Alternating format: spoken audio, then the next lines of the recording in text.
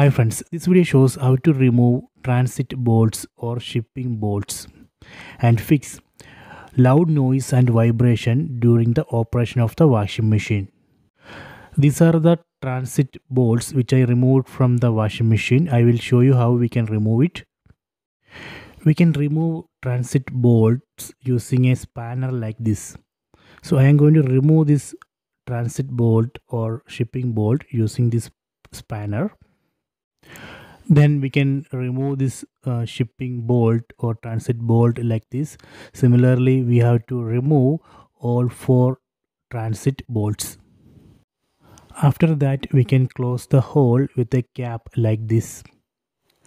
These transit bolts are designed to hold the drum in a fixed position while being transported hence it is very important to remove these transit bolts from the back side of the washing machine before starting it.